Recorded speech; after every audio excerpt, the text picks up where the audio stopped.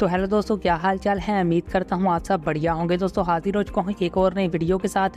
Guys इस video में हम लोग बात करने वाले हैं सिंगम अगेन मूवी के बॉक्स ऑफ़िस कलेक्शन की। आप लोगों को है, मैं आपको लोगों को इसका डेली बॉक्स ऑफ़िस कलेक्शन बता रहा हूँ। और कल मैंने आप लोगों को इसका संडे का कलेक्शन बता दिया था, यानी कि डे टेन का इसका मैंने आप लोगों को कलेक्शन बता दिया था। आज मूवी को रिलीज़ हुए बारहवा दिन है, लेकिन कल ग्यारहवें दिन का ऑफिशियल कलेक्शन अपडेट हो चुका है। तो बात करेंगे कितना बड़ा ड्रॉप देखने को मिला है, क्योंकि आप लोगों को पता है सैटरडे संडे वीकेंड था तो कलेक्शन बहुत ज़्यादा ऊपर गए थे।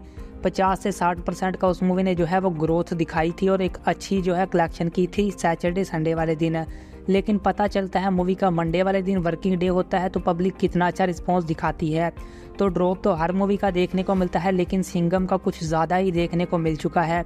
तो कितने कलेक्शन ड्रॉप हुए हैं इस वीडियो में बात करेंगे और आप लोगों को बताऊँगा पहले ग्यारह दिनों का इस मूवी का टोटल इंडिया से नेट कलेक्शन कितना हो चुका है ग्रोस कितना हो चुका है और ओवरसीज से पहले ग्यारह दिनों का कितना कलेक्शन निकल कर आ चुका है। यानी कि वर्ल्ड वाइड रिपोर्ट देने वाला हूँ, इसलिए वीडियो के साथ लास्ट तक बने रहना।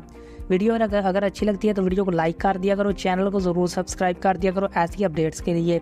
तो गैज़ वीडियो शुरू कर लेते हैं बिना किसी देरी के।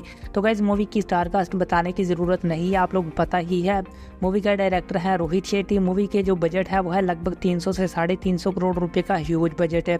आप बात कर लेते हैं इस मूवी के कलेक्शंस की। तो गाइज़ इस मूवी का जो कलेक्शन कल का निकल कर आया है, लगभग मैं क्या आप लोग कह सकते हो कि 68 परसेंट का ड्रॉप देखने को मिला है। जी हाँ गैस 68 परसेंट का और मैंने जो एक्सपेक्ट किया था, मुझे लगा था कि मंडे पर इसके कलेक्शन डाउन होंगे, लेकिन 50 परसेंट तक मैंने सोचा था कि इसका ड्रॉप देखने को मिलेगा और पाँच करोड़ से तो ये ऊपर ही मूवी नेट कलेक्शन करेगी, लेकिन नहीं गाइज़ इसका जो डे इलेवन का ऑफिशियल कलेक्शन इंडिया से नेट निकल कर आया है, वो है चार करोड़ पच्चीस लाख रुपये जो कि आप लोग कह सकते हो कि बहुत ही कम है, क्योंकि इस मूवी की हाइप बहुत ज़्यादा बनी हुई थी और सैटरडे संडे जिस तरह का गया था, मुझे उम्मीद लग रही थी कि ये मूवी एक ब्लॉकबस्टर बन सकती है। लेकिन गाइज़ इस मूवी का फिर से कलेक्शन एक बार ड्रॉप हो चुका है और आप लोगों को पता ही है कि आप भी इनसे स्क्रीन भी लिए जाने वाले हैं क्योंकि जो है अब बोल प्लेयर थ्री ज़्यादा चल रही है तो उसको ज़्यादा थोड़ी सी स्क्रीन दे दिए जाएँगे लेकिन ज़्यादा स्क्रीन उससे भी ले लिए जाएँगे। क्योंकि आप लोगों को पता है आप आने वाली है साउथ की बड़ी मूवी कंगुआ और कंगुआ को आप स्क्रीन दिए जा रहे हैं। तो इसलिए कलेक्शन में और ज़्यादा कमी देखने को मिलेगी।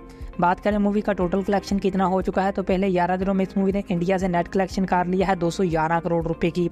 इसको ग्रोस में देखा जाए तो ये बनता है दो सौ तिरपन करोड़ रुपये ओवरसीज़ की बात की जाए तो सत्तर करोड़ रुपये ओवरसीज़ से इस मूवी का पहले ग्यारह दिनों का ग्रोस कलेक्शन निकल कर आया है, जो कि अच्छा कलेक्शन है।